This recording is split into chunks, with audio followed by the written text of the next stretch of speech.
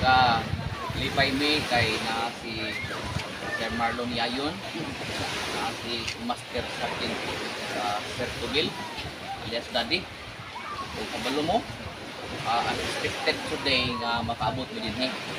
Kaya pating lamias pamahaw kay sunan kag kanang himuan kag kinilaw nga susit unya sa gulan o barilis. Ever since wako kakilaw na. Karon pa yung adlaw ah. Sukad nga nag-edad ko nining 40 na. Og uh, kaniha maligo unta mi pero mabaw man ang dagat. Di may ganahan ang dagat nga mabaw. Nganong ang dagat dunay dunay taog ug dunay hunas? Kanang hunas nga panahon para na sa mga mugbo kay ituyo sa Ginoo kay manunupan unya pero kaning taob para na mo ni unya no? So mga ligo mi guys ug ato pong paistoryahon si Sir Marlon about sa testimony niya sa pagkamaayo sa Ginoo. Ug uh, sir imuhang panahon para nga imong i itulutabi ini mga punon Ah, time check um 1:30 in the afternoon. Ug uh, usa ka testimony bahin sa kinabuhing giusab sa Ginoo yun ini kahaponon madunggan ninyo sa tanang mga nakailas shout out to all our friends over there sa tanang nakaila ni Sir Marlon be he is a pastor amen, Amen. Tayo? Ah, sa lusura no? amen. Pero, magka, ano, Um, kausapan, nawala siya. Ito niabot ko siguro sa nangingala natin sa Jesus Christ. amen Jesus Wala imposible. wala Pag imposible iniligay. Siya na iniligay.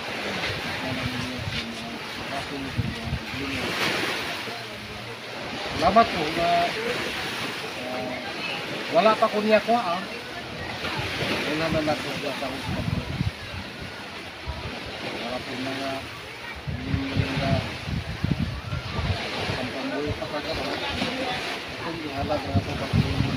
ka ka. Na pagkagat. Alagad siya haya at kanan ng bukas kung pwede. Kadang oras. Dahil niya, kita ka buot. Hmm. Hindi ang pagbuot mo mo kuman. Kanan mo kayo. Kanan mo tak na. Siya ang kumulang yun sa mo. Siya, na mo, siya na mo govern ni mo. Mo govern sa mga kinabuhi. Ah, kanan mo buhaton. Liha na ka. Ah, Kay wala naa na siya. Naa na ang pasensya.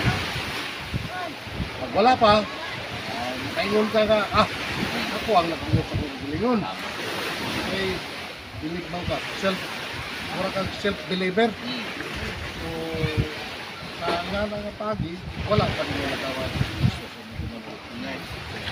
Ito atong iyatag niya. Mga gustuhanon niya, iyatag ang kinabuhi nato. Atong ihatag. Uh, Dawato na ko siya. Na tibok na kasing-kasing. Hindi alam.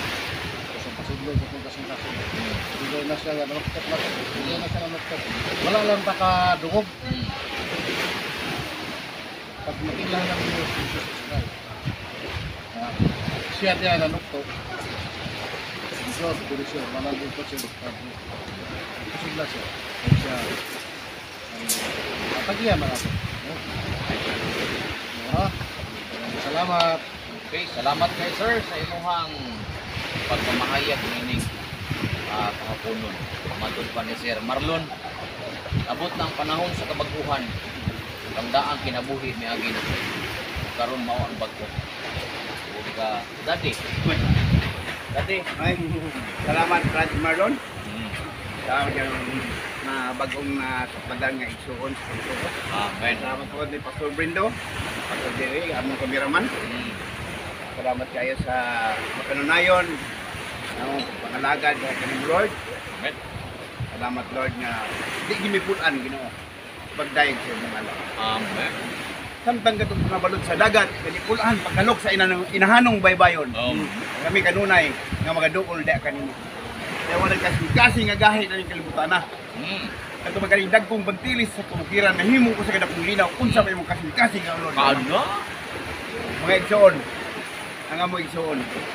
Nakaroon salamat kay sa ilang uh, pag uh, entertain sa mga. Mm. Ito yung pastor Pindo kanya na nagkakaon lagi sa uh, busit o Barilis. ang barilis nagikilaw. Sa una, pusit naman puros. O busit ako puro po barilis. Puros po barilis. Oh, karon rumble. Oh. Tambol. Ngan ang sabi sa pagtuo, di ginato i-rumble ang pagtuo. Pwede rumble yung pagkaon pero ang pagtuo di nato i-rumble. Going straight ka. Walang tanan Ginoo, asang tanan ang dungog ug himaya sa Ginoo. Amen. Amen. Okay. Daddy, uh, our uh, retired ma- Master Sergeant o si Sir Marlon o dalaygon ng Ginoo kay hindi nga mga pagpamahayag nga baton pa um, balod sa mga Dagat. balod sa kagahapon Balod sa dagat. di apoy dili po niya balod kuan eh mga kabukiran nga nangapatag Pastor Baron patagon ang bukid. Oh. Bukid sa mga problema, patagon. Patagon mo men. Men. Sige. Karon, mention? Mga pagpamahayag sa kamahayan sa Ginoo, despite of everything, how God is faithful unto you and even to your ministry. Okay? Oh, Guys, pasat out ya sa mga nakailan ako. Hindi ang tamo nga ah wala imposible sa Ginoo. Kani adto ato kinabuhi nabungong sa hulang hayaw aning kalibutana. Pero tiyan di kay kung ang Dios may purpose nga tawgon kanya tawgon ka sa Ginoo. Sama ni Sir Marlon. Ani siya wala kong magdahom magkiring tuhana. Ako makauban sa pagpangalagad. Ako ni siyang nahimong instructor sa ROTC. maestro, Hadlok maestro. ani. Ano kayo puro abi na ko isog probutan na ini. Amen. Salamat sa Ginoo dayon sa kasinatian sa kinabuhi. Akong ipaabot ninyo igsuon nga dili pa ulay ang tanan. Karon nga samtang buhi pa ka. Karon panahon nga magbago ka. Karon nga samtang buhi pa ka, karon panahon nga pag-decide ka nga Ginoo imong alagaron. Karon pa na mag-decide ka nga Ginoo imong suwindiran sa imong kinabuhi. O karon panahon nga ang ikaw magdesisyon nga magbago kauban ang imong Ginoo. Ison, ayaw og kaluya. Ayaw og pagdismaya sa mga pagsulay maabot sa kinabuhi. Ang tanang mga pagsulay nga maabot imong igsuon, pamaagi na nga gitudlo sa Ginoo kanato nga pinaagi niya na muduol tanya. Mm. Igsoon, salamat kayo sa paminaw. Pasat out ko sa akong mga pamilya nga nakailan ako. Dili po na yung tanan. Napay, napay panahon nga magbago ka kung si Kristo imong dawaton so imong kasing-kasing si Kristo yung pasudlon paharion imong ilhon nga siya ang Ginoo ug manluluwas Dios ug hari sa imong kinabuhi Amen. diha nga pagigsuon wala imposible nga dili ka baghuon sa Ginoo igsuon Salamat kayo sa inyong uh, pagtangkili ka pagpamati kini nga takda sa kapunon. Salamat kayo sa mga uh, kaigsuunan nga nagmanasigon o nagmalipayon. God bless you more and more power to you. O uh, Amen. matud pang Pastor Jerry, buhong siya sa unang panahon apan mas buhong siya karon kay nayang asawa. Si Sir ah, Marlon, abi niya isog, abi niya lisod ulan. Pero kung imo ning duolon, na grabe, subaan kag karning baboy. Amen. Praise the Lord. O uh, Sir, salamat kayo. binambusog Salamat, sir. Salamat. Jer, salamat kayo.